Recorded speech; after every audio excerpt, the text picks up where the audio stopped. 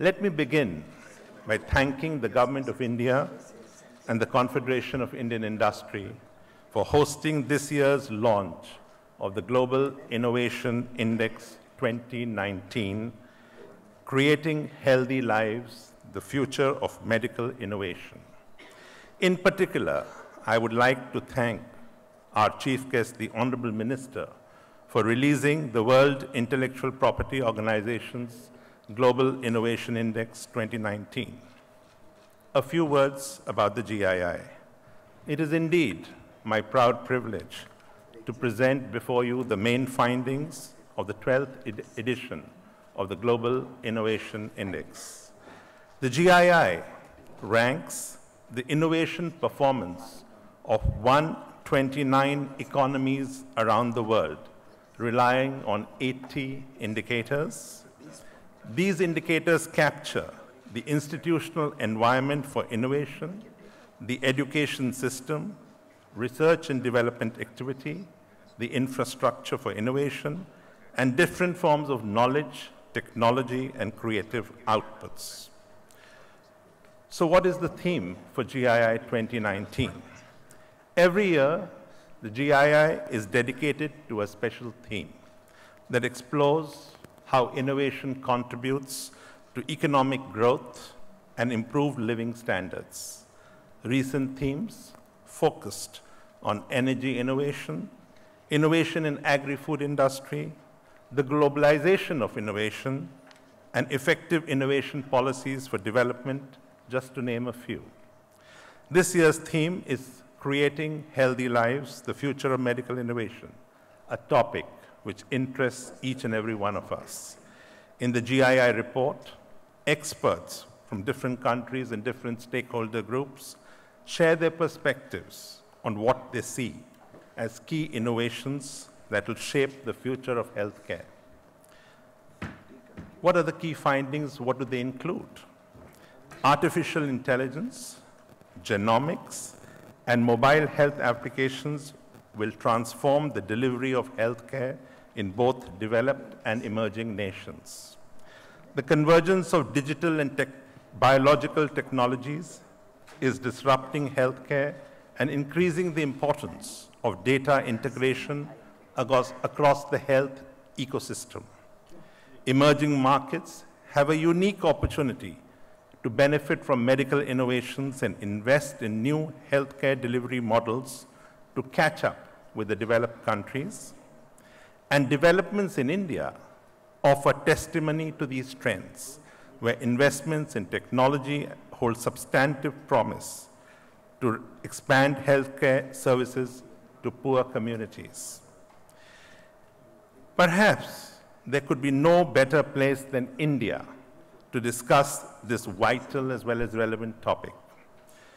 India, ladies and gentlemen, has emerged as the pharmacy to the world, both in the field of medical devices and drugs, with a strengthened medical device industry in the recent past.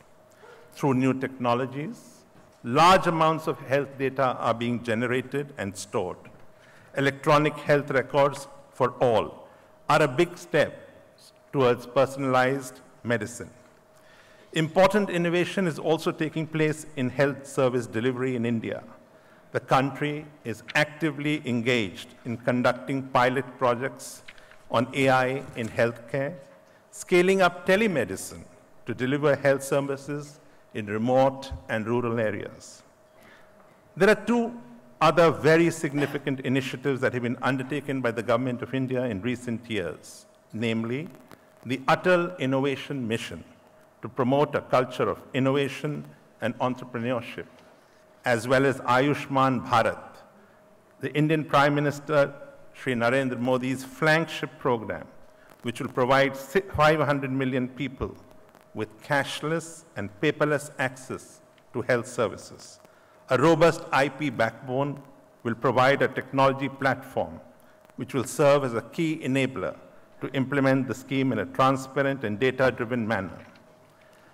Let me now turn to the core of the Global Innovation Index and break the suspense on the GII rankings of 2019. The top 10 ranked economies in 2019 ladies and gentlemen, are as follows. First, Switzerland. Second, Sweden. Third, the United States of America. Fourth, the Netherlands. Fifth, the United Kingdom. Sixth, Finland. Seventh, Denmark. Eighth, Singapore. Ninth, Germany. And hold your breath, tenth, Israel. Switzerland has been the top performing economy in the GII for several years. It has consistently shown high performance for most of the indicators included in the index. Nine of the top 10 economies are the same as last year. The only economy breaking into the top 10 is Israel at the 10th position.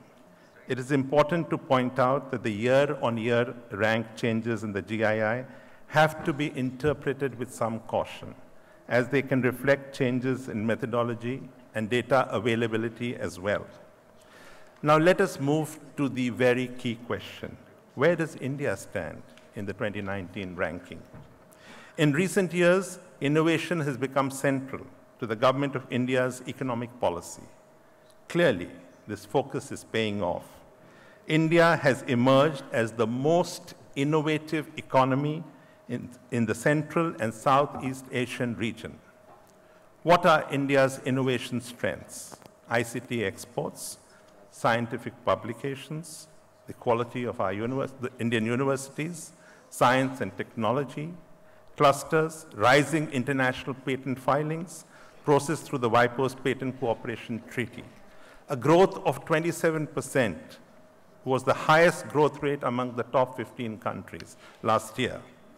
And the GII rankings, 81st in 2015, 66 in 2016, 60 in 2017, 57 in 2018, was hailed by India's Honorable Prime Minister, who remarked, India has jumped 24 notches in four years.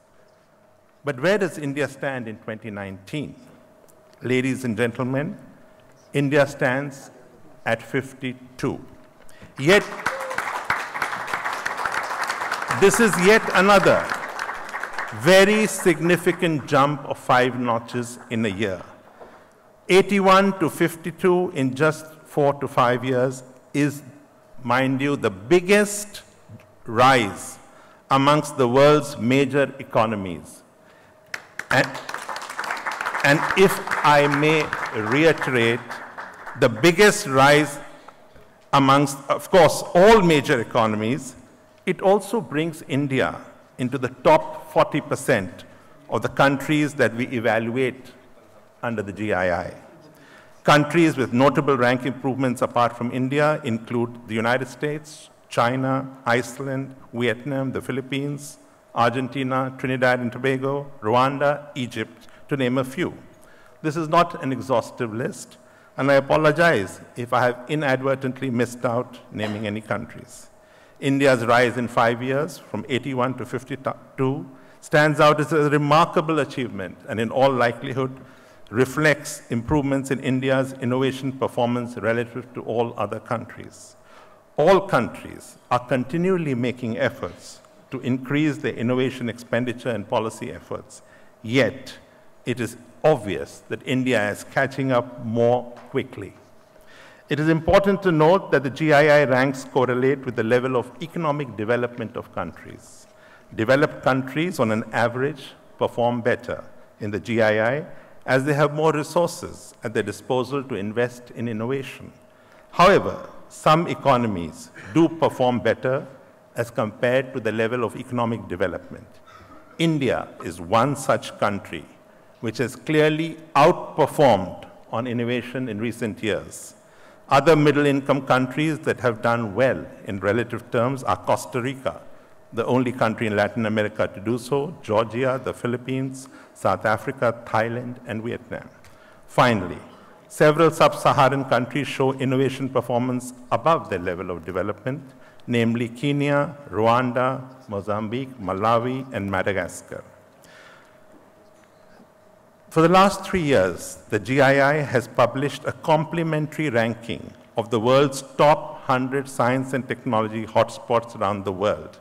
It relies on millions of records of investors listed in patent documents, and authors of scientific journal articles. The 2019 result confirms Tokyo, Yokohama's top rank, followed by Shenzhen, Hong Kong, and Seoul, Beijing at four, and San Jose, California, USA at five, swapped ranks compared to last year. The United States, with 26 hotspots, still hosts the largest number of innovation hotspots, followed by China with 19, one more than in 18, 2018. But significantly, three Indian clusters, Bengaluru, New Delhi, and Mumbai, feature in the top 100 list, attesting to India's presence in the global innovation economy. Ladies and gentlemen, in conclusion, the objective of my report was to briefly distill the key findings of the Global Innovation Index 2019. The full report, which has just been released by our Honorable Chief Guest, contains more than 400 pages of analysis and detailed country profiles. This would be most helpful in tracking and monitoring innovation performance across the world. With this, I once again thank our Chief Guest, Honorable Minister for Commerce, Industry and Railways, for his kind presence on this occasion. I would also like to take this opportunity to thank Director General Gurry for his leadership and guidance throughout the process. My gratitude also goes out to all the dignitaries attending this event for their kind presence, and in particular to the distinguished speakers from India as well as abroad who have participated in the panel discussions earlier today. I take this opportunity to thank our knowledge partners, Dassault Systems, and both the National Confederation of Industry, Brazil, and the Brazilian Micro and Small Business Support Service for their invaluable contributions to the Global Innovation Index.